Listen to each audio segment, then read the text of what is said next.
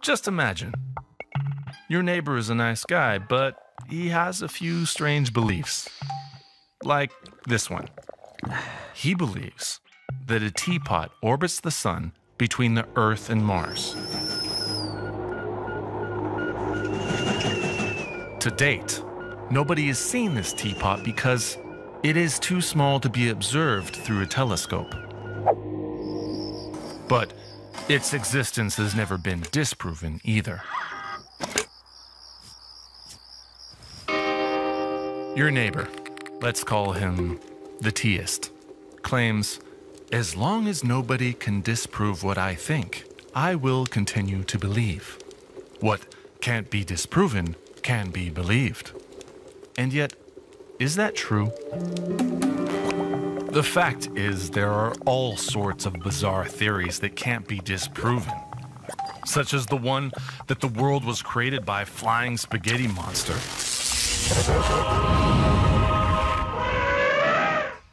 Or that whenever people aren't looking, at any given time, there are little pink elephants that disappear into thin air as soon as we look in their direction. Hmm. These presumptions cannot be confirmed, but anyone who believes that something exists needs good reasons for it. It is not enough that it cannot be disproven. Otherwise, any number of absurd assumptions would be possible.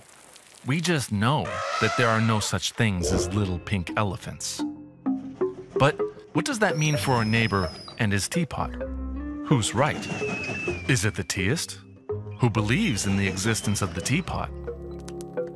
The atheist, who believes in its non existence? Or the skeptic, who believes in neither its existence nor its non existence because we simply do not know. Hmm. And what about the belief in the existence of God? Is that as irrational as believing in a flying spaghetti monster? Does it make sense to believe in something as long as it hasn't been disproven?